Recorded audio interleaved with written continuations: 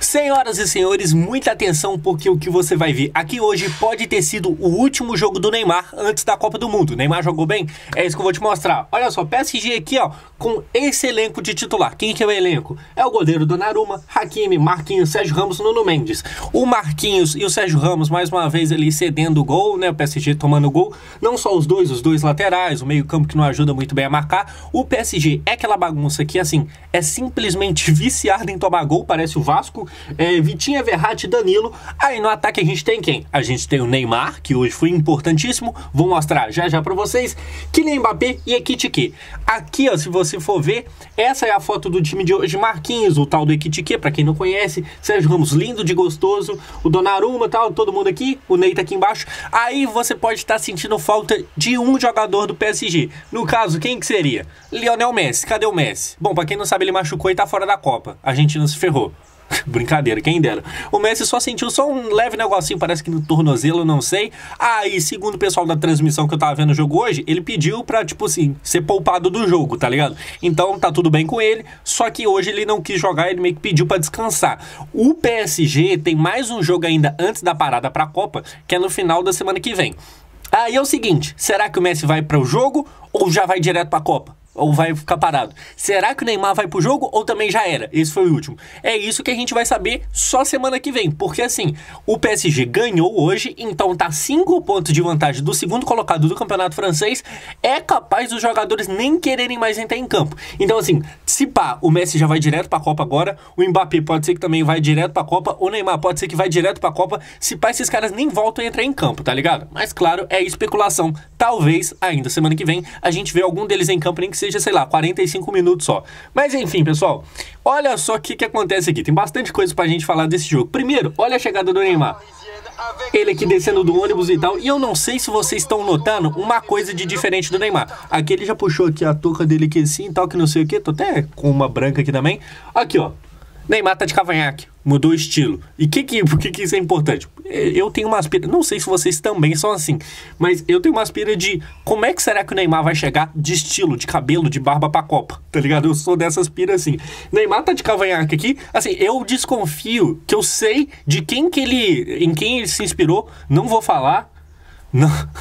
Mas eu acho que isso aqui quer dizer que o Neymar, pra semana que vem, se pá, Neymar vai chegar pra Copa sem barba nenhuma. Façam suas apostas. Qual que será o cabelo do Neymar e a barba? Será que vai chegar de cara lisa? Eu jurei que ele chegaria de barba, mas por causa desse bigode, desse cavanhaque aqui, eu acho que ele vai acabar rapando ou deixando tudo baixinho, tá ligado? E vai chegar na Copa totalmente zerado. É o que eu acho. Façam suas apostas aqui nos comentários. Bem, enfim, vamos falar do jogo? O jogo já começou com ele marcando.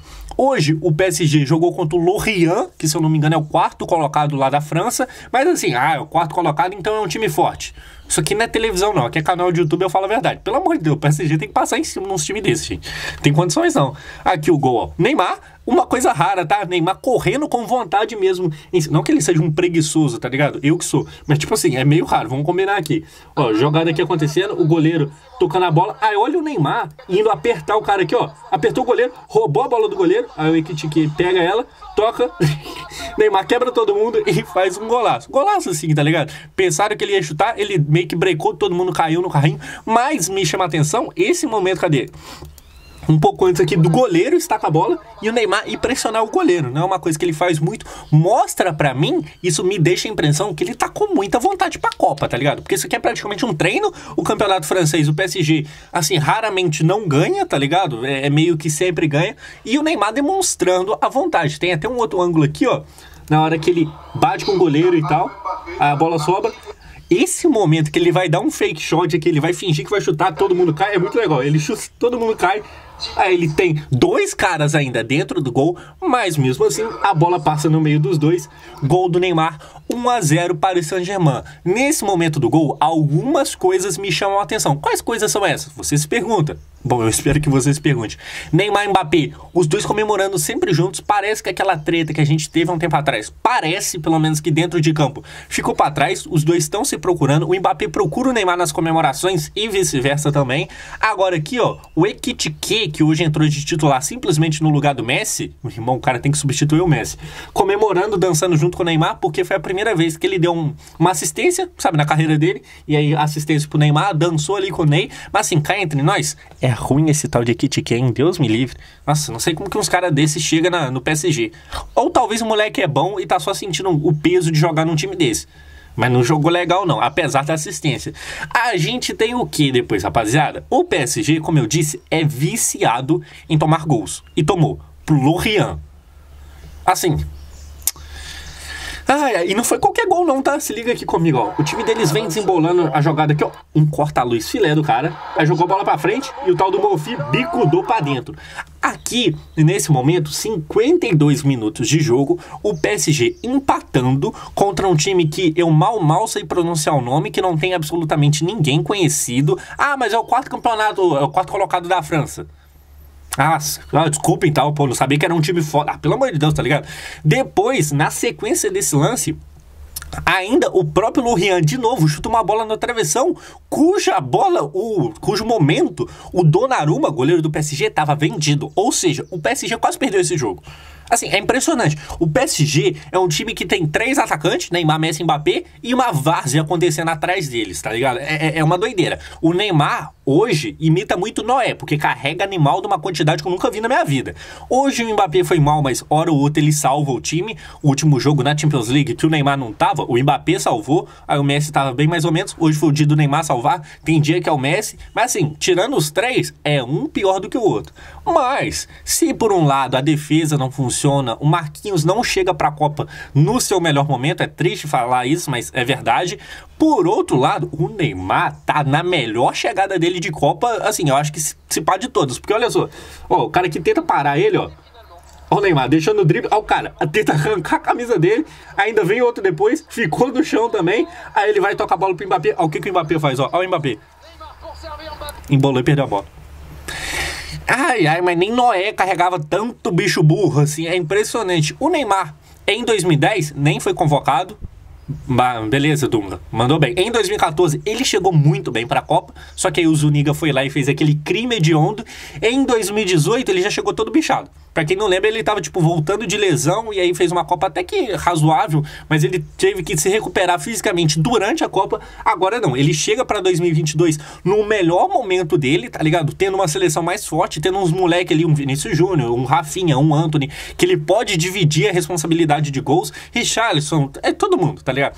Então, assim, Neymar vai chegar voando pra Copa, além de, do gol que eu já mostrei, além do drible, a gente tem mais coisas aqui, ó, como o segundo gol que deu a vitória do PSG PSG, que é assim, gol do Danilo Pereira, o, o meio-campo barra zagueiro português, que eu já critiquei aqui em alguns momentos, mas hoje foi bem. E aqui, olha só, quem faz o cruzamento? Um gol de escanteio, tá ligado? Aí o Neymar vai lá, ó, cruzamento para dentro da área, uma embolação danada, gol aqui, 2 a 1 O PSG, aos 80, consegue vencer o jogo, que não era mais do que obrigação dele, pelo amor de Deus, se não vencer do Lorient, vai ganhar a Champions League como, tá ligado?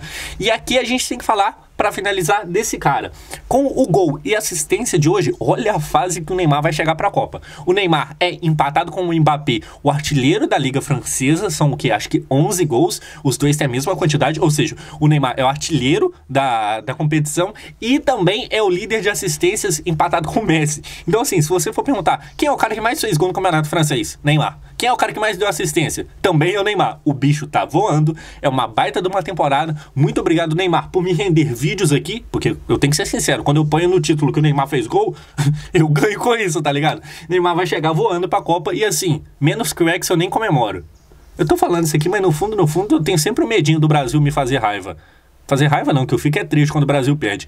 Enfim, esse foi o jogo do PSG de hoje. Neymar jogou muito bem, mas quase que ele não dá conta de carregar esse bando de inútil que é o time do PSG. Ganhou, mas esse pack nem merecia ganhar. Eu sou o Josão, muito obrigado por assistir. Hoje, mais tarde, tem Vasco e Ituano. Eu vou estar tá aqui, né, falando.